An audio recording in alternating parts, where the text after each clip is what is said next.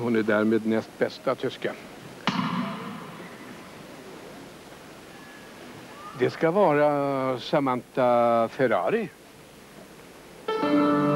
Vilket det är. Jag tittade bort en kort sekund och eh, blev lite osäker här. De italienska flickorna är också på väg uppåt i den här sporten. Ja, det är de. Eh, I synnerhet den här flickan har lyckats bra nu på de senaste tävlingarna. Ja, hon var till exempel åtta i världscupen i Bryssel som har varit eh, det här årets största tävling hittills. För 14 dagar sedan.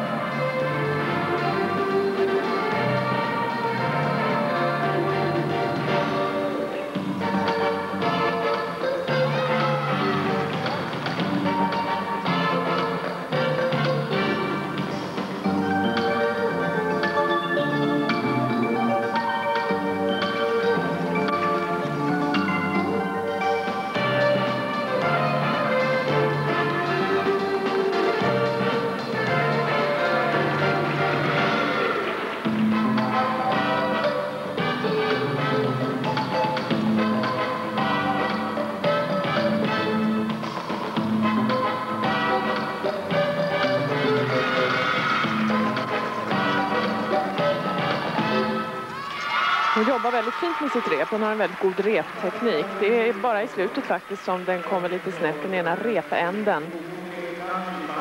17 år gammal har hon också skaffat sig en avsevärd tävlingsrutin. Hon vågar